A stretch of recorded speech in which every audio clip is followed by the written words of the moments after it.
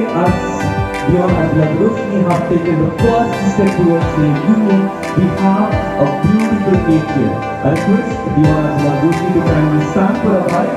I will become your family members. So we have Roshni's parents, Mr. Paul and